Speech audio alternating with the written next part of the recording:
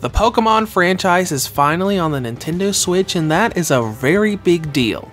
Not only does Nintendo's new handheld have a Pokemon, but this is the first time a Pokemon RPG has been available both on a handheld and on a console. Here is my review of Pokemon Let's Go for the Nintendo Switch.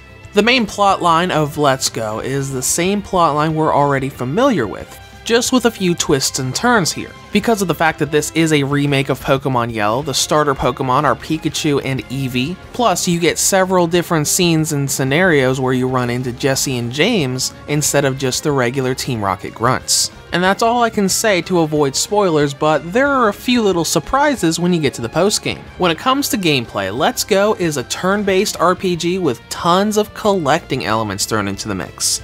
Now first of all, let's talk about differences. These games are essentially remakes of Pokemon Yellow. The most obvious differences are the inspirations and connectivity they've made between Pokemon Go on mobile and Pokemon Let's Go on the Switch. All of the random encounters are now capture mini games similar to Go's version of the Safari Zone. Plus, we have the Go Park, where you can import Pokemon from Go into Let's Go, similar to how Pokemon Bank worked on the 3DS. Most of the other changes are just little quality of life things.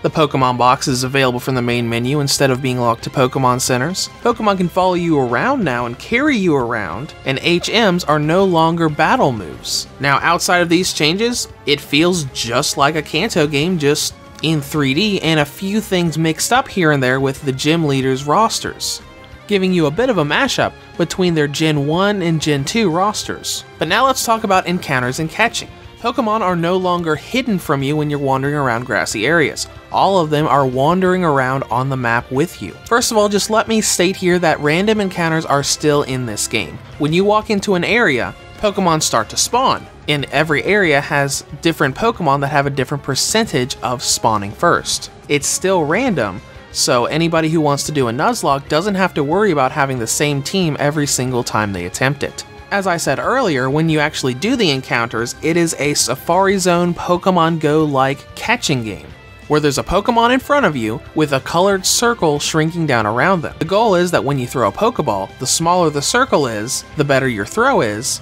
and the higher chance you have of catching them. Plus, you've got a bunch of berries that you can throw at the Pokemon to make them easier to catch and to make them stay still when they're constantly jumping around on the screen. Now, once you catch something, you get experience for your entire party. Kind of a balanced sort of thing, since wild encounters are no longer battles. The fact that you have to catch everything to get experience outside of trainer battles also means that there is a lot of balancing stuff thrown in here to help with that. Pokeballs, Great Balls, and all the other variations are significantly easier to buy now, Plus, you've got the ability to send all of your duplicate Pokemon to your professor and turn them into candies for stat increases, so you don't have a box with the last 200 Pikachus you tried to catch because you really wanted a shiny. And that leads us into the big discussion on this game's difficulty. For months now, a lot of the more vocal members of the Pokemon community have been convinced that this is going to be a baby mode handholding game, and the difficulty really isn't like that. The first thing we have to go over here are the gym requirements. Every gym in the game has some condition that has to be met before you're allowed to challenge the gym. The first gym requires you to have a very specific type of Pokemon that's strong against the gym's type. Fortunately though, Brock is the only gym leader in the game with this type of requirement. The others either don't have a requirement at all, or require you to have so many Pokemon in your Pokedex, or at least one Pokemon of a certain level that's around the range of the gym leader's level. And these are balanced as well. Unless you are actively skipping trainer battles and encounters, I doubt anybody will have to go out of their way to gain the requirements for any of the gyms outside of Brock in the case of a Nuzlocke. Now, the battles and trainers themselves are just as difficult as they were back in the day. Brock is made a little bit easier because of your starters, but once you get to your third or fourth gym, a lot of the trainers and gym leaders are really going to make you have strategy and have good type coverage to be able to get through without a lot of trouble. And all of the special coach trainers that are set around the world are also very difficult, often rewarding you with new TMs when you beat them, but being a significant step up from everything else in the area. So the game's not really that easy, unless you abuse the candy system. Remember that when you transfer Pokemon over, you get candies that permanently increase your stats. And constantly catching the same Pokemon will give you special Pokemon candies that increases all of those Pokemon stats in one go. This can be abused to the point where stats don't matter for a Pokemon anymore. You can make a very frail, fragile Pokemon like Butterfree a Mewtwo killing monster by maxing out the candy system, giving him or her a good 200 extra points in all stats. Granted, it takes a long time to gather that much candy, but you can do it. Now let's dive into content and length. Despite Let's Go not including the Sevii Islands like Fire Red and Leaf Green did, you still have a pretty good amount of stuff to do in the post-game. Once you beat the Elite Four, you have a few extra post-game story missions you can do with your rival. You can re-challenge all of the gym leaders every day to fight them with new teams. You can infinitely re-challenge the Elite Four to fight them with new teams.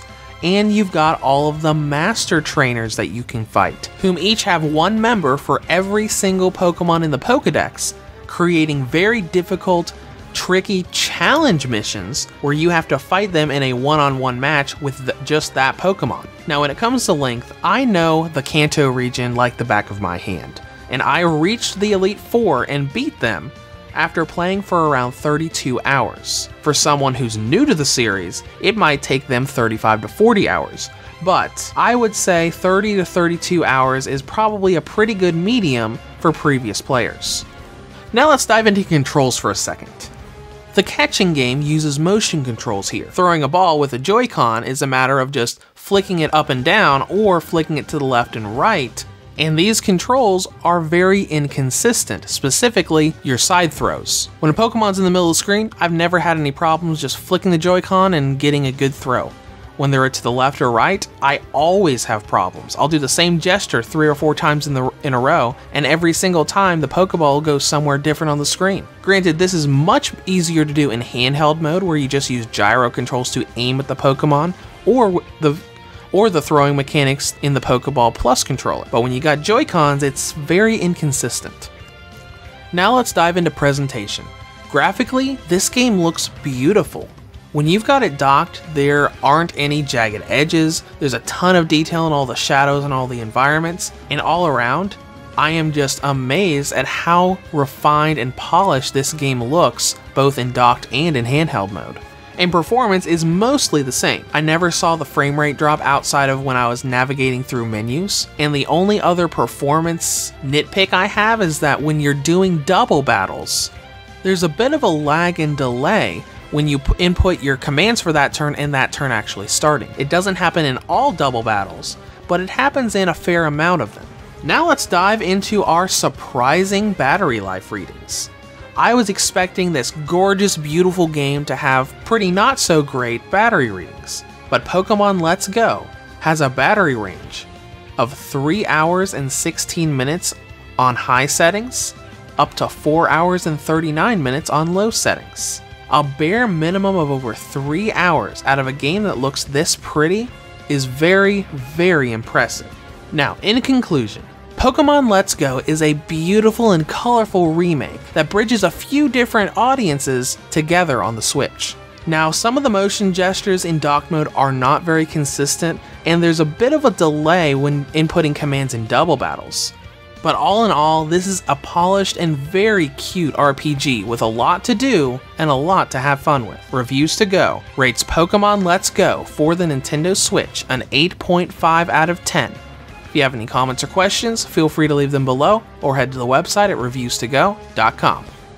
Hey there guys, thanks a bunch for watching the review. Before you go, my Patreon campaign is slowly climbing up. Head on over if you'd like to donate a little bit and help us get ads and monetization off of this channel. And if you're interested in Let's Plays and Long Plays, you can check out my new Long Play channel, where I'm currently doing a Nuzlocke run of this very game, Pokemon Let's Go. Both links are in the description. Thanks again for watching, have a good day.